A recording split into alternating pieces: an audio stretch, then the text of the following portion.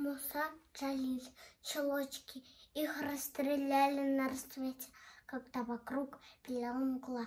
Там были женщины и дети. Эта девочка была. Сперва велели всем раздеться, потом горбусин над спиной. Но вдруг раздался голос детский, наивный, тихий, живой. Чулочки тоже снять мне, дядя? И упрекая, не грызя, смотрели, словно в душу глядя.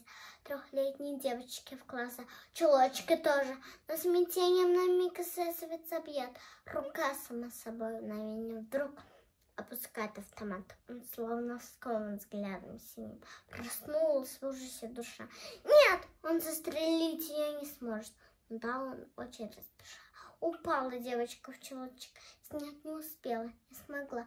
Солдат, солдат, что если бы дочка твоя вот так же здесь легла? Это маленькое сердце пробито пулю твоей. Ты человек, не просто немец, но ты ведь но ты ведь зверь среди людей. Шагала сердцевец угрюмо к заре, не поднимая глаз. Впервые, может, эта дума Москву отравленным зажглась. И всюду взгляд светился синий, и всюду слышался опять. И не забудется поныне челочки дядя тоже снять.